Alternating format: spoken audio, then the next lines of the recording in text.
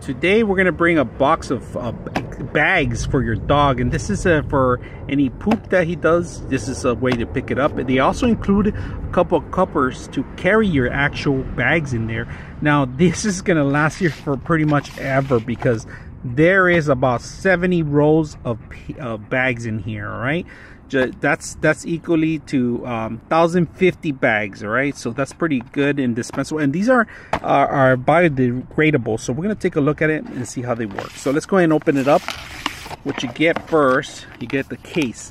This is to carry around with you either on your belt clip or your backpack or your travels. And it's like a capsule if you guys can see that. And look at all the bags that they give you. Every single one's gonna be yellow. Once you take out the tape you could distribute and take the poop out. All right so we're gonna take out the tape here if you guys can notice. There's a little tape you have to remove right? It tells you right here it's kind of like a safety thing that you have to remove. So let's go ahead and take that off first all right the great thing about this bags is that it has these little clips in here. So it's like a rollers right? You pretty much just do it both ways if you guys can see it both sides all right? And just tape them in there and close them out. And when you want to replace it easy to get it out. You guys can see that? Getting the bag out. And then it tells you to tear here. So you hold on to it.